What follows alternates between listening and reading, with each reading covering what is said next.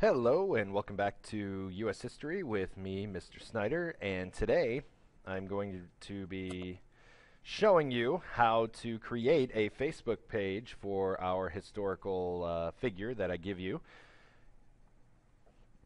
And let's go ahead and get started. We're at our Moodle page, so go ahead and scroll down to the bottom and find the Facebook profile instructions here. You'll find a link to the video. You'll find uh, sign-ups so you can see who you have. And you'll find all the relevant grading information as well. But go back to the front page and you'll see there's a Word template here. I'd like you to go ahead and download that. Uh, save it wherever you like. And when it finishes downloading, open it.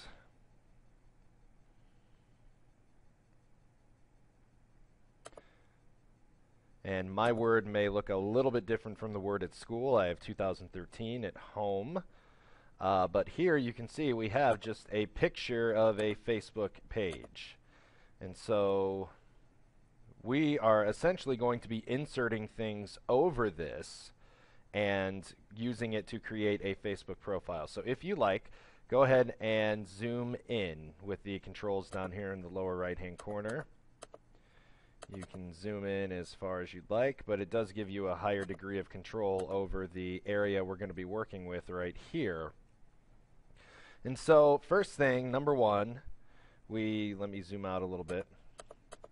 We need to insert a picture of the historical figure. So we're going to go back to the internet and use Google for this and search for your historical figure.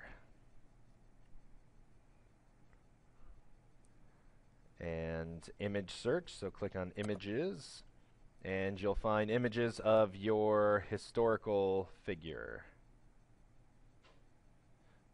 Pick whichever one you like and you're going to right click and you're going to save that to uh, something on your computer, someplace on your computer.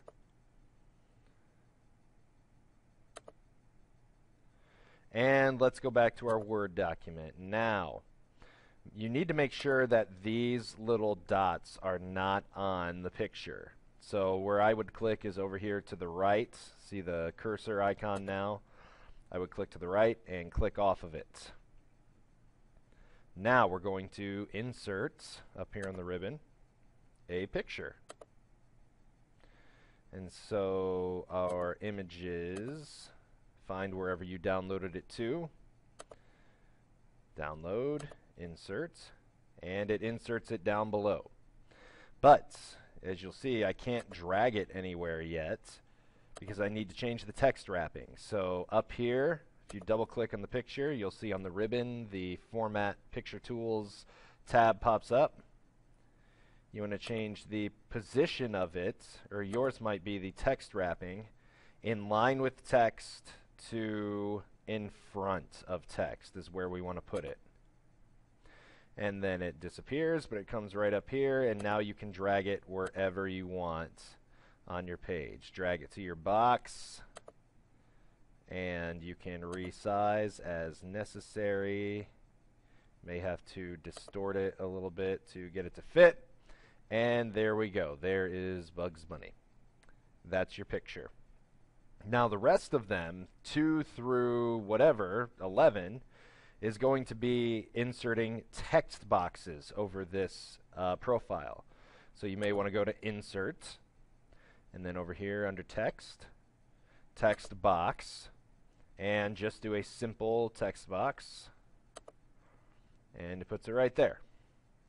So now we're going to maneuver it so that it is over the number 2 box right there. You may have to, uh, the boxes may overlap a little bit, but you can change the size of your text as well.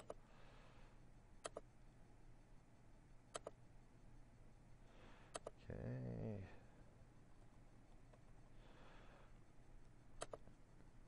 Bugs Bunny. Now, if you click on your text box, you'll see this drawing tools thing pops up, and you can actually change your shape outline to whatever you want. You can make it red, you can make it blue, color it in. I don't care. I just want you to get the information correct.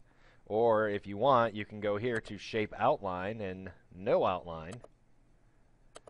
And there you can see there is no outline on the box anymore. You can extend it out here a little bit. And once you get a text box that you like, feel free to click on it, uh, right click, copy it, and then right click and paste it. And it'll give you that same text box that you can just drag someplace else. So don't insert a whole bunch. Just copy and paste it and then change the information. And that is how you are going to create your profile. Um, also, let me show you number seven real quick. We're not going to insert a text box on the globe.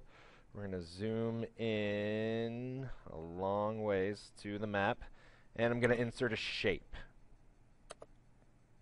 It can be any shape you want. It can be a star, it can be a little explosion. And Bugs Bunny is American. So there. And then you can uh, choose the weight of your outline, color,